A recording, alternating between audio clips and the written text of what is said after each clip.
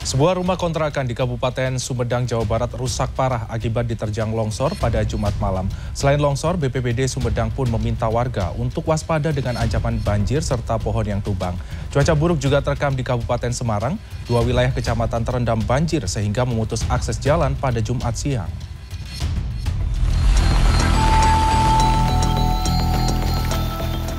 Jumat siang banjir mereda permukiman warga di Kecamatan Banyu Biru dan Kecamatan Tuntang, Kabupaten Semarang.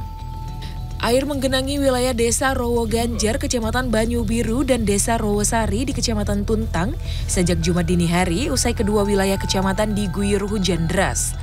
Banjir setinggi 1 meter juga memutus akses jalan. Menurut warga, selain hujan deras, banjir juga terjadi akibat sebagian tanggul sungai jebol. Hingga saat ini, BPBD Kabupaten Semarang masih mendata warga terdampak banjir.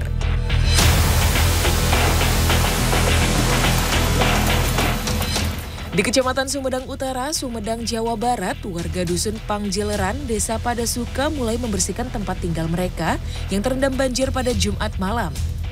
Salah satu warga menyebut banjir menerjang pada Jumat petang sekitar pukul setengah tujuh. Warga menduga hujan deras di wilayah Hulu membuat air sungai Cipeles meluap dan membanjiri permukiman mereka. BPBD Kabupaten Sumedang menyatakan dari pendataan sebanyak 24 rumah dan satu masjid terendam banjir. Banjir pun dilaporkan sudah mulai surut.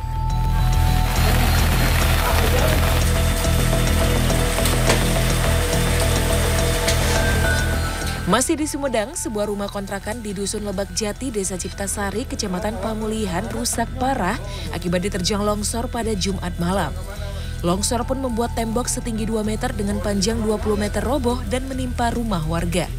Tidak ada korban luka maupun jiwa akibat kejadian ini.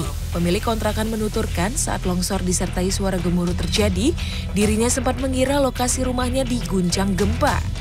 Sementara menurut Kepala Pelaksana BPBD Sumedang, bencana pohon tumbang, banjir, serta longsor juga melanda sebagian kawasan Sumedang sejak Kamis.